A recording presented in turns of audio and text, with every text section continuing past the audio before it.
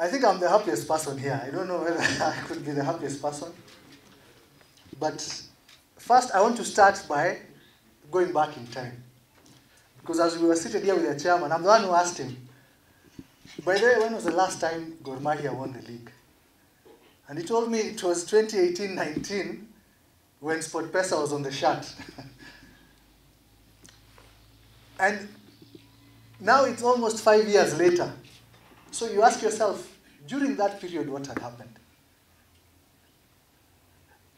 SportPesa at the time, I remember SportPesa became so big. And I've always been asked what happened to SportPesa at the time. There was a time I could not speak because the people who are fighting me or us were not people you could speak of. And everyone seemed to be against SportPesa because of the narrative that had been peddled out there. But at the time, I always used to say, the truth will always come out. If we give it enough time, the truth will come out. So SportPesa was closed down.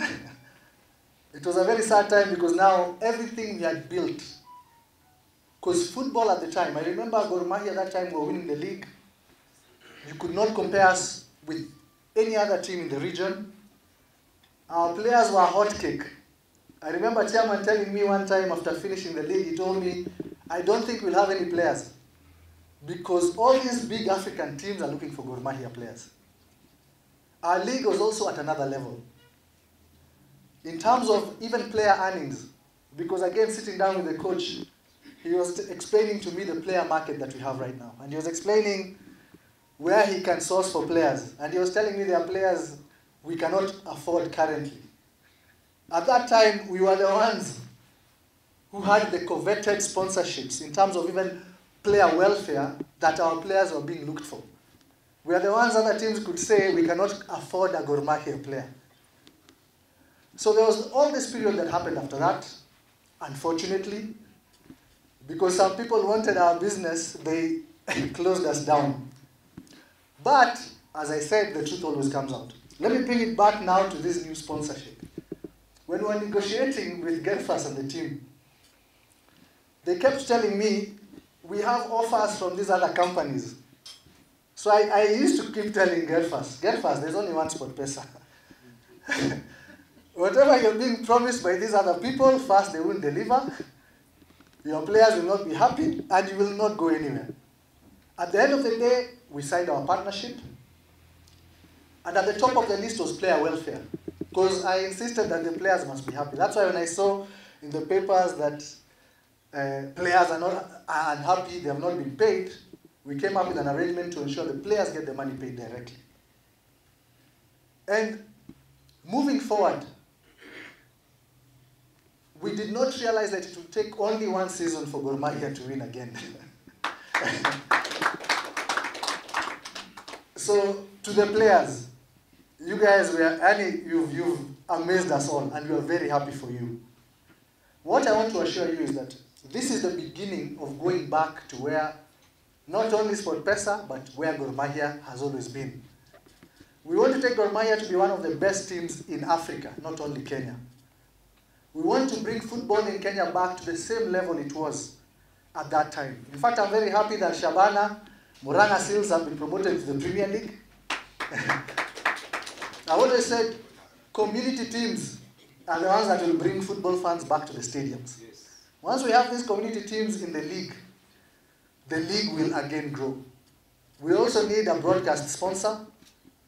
FKF need to really work on that because we want these matches aired live to all Kenyans in their TV stations. We have, I feel right now, it's a time for a bit more predictability. Not only in terms even of our business, I think it will be more predictable. Because I remember we used to be, last time we don't know whether next year we'll be harassed.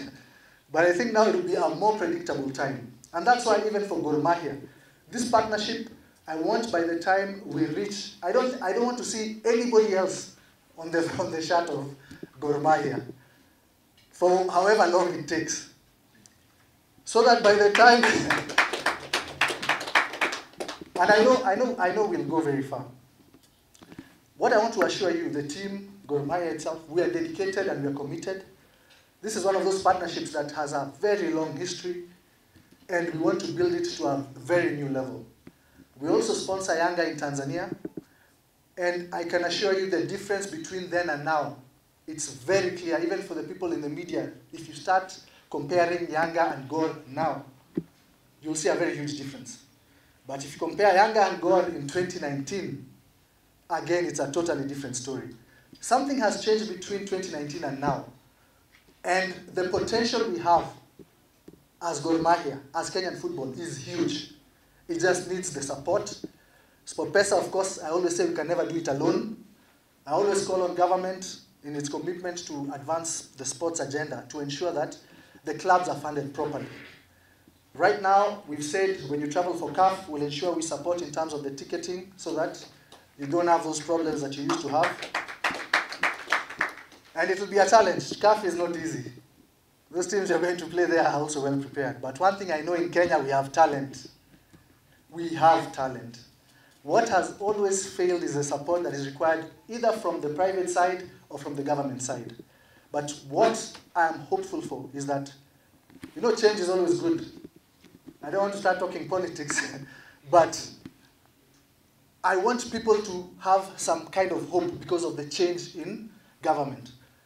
We can all lose faith. I always tell people we can lose faith and say, you know, every time something happens, everything is stolen, everything goes. But let's have a bit of hope so that some change might come. For me, I see this as a hopeful period for us. For football, for Gor Mahia, as we move forward, I see a very big improvement in our football in Kenya. So for me, it's a celebration. Gerfas was calling me after, after, after we lost to Homeboys. I told Gerfas, me, I've played sports. If these players don't have that passion to win this last game, if they don't want to win that last game, if they don't have it, I told him, Gerfas, there's nothing I can do. It is on you to motivate those players, because players always want to win. Make sure these players know that they must win that last game. Because I had really panicked. I was like, we cannot down just lose at the tail end of the league. And I want to thank you players for delivering that title.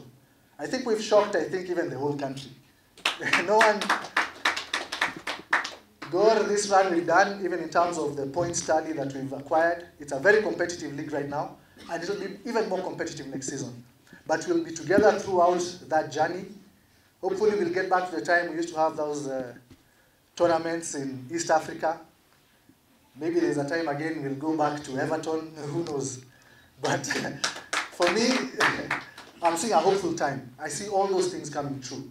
So for me today is to thank you all, players, technical bench, the whole team of Gor Mahia for making us proud. Even for the brand, we are proud to be on the shirts of Gor Mahia. So today is a celebration. I don't know when we're doing the parade, but for today, uh, we had promised an award, and today we're going to award 3.65 million shillings to, to the team.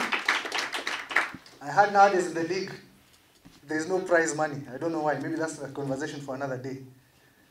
And even for AKF, FKF, that trophy, there's not a trophy. This, this trophy we have here, it, it looks good. Me, I like it. You know, winning, the feeling of winning.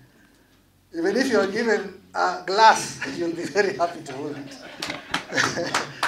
so for us, even in Gor Mahia, we're happy. We've lifted the trophy. Trophy. We're the champions of Kenya. Alafu FKF kama wanataka usaidizi kutafuta trophy nzuri wanita waniambie. There was a time we were, we were sponsoring the league and we had an amazing trophy. I don't know what happened to it. Oh, you guys have it, eh? Because you won three times in a row.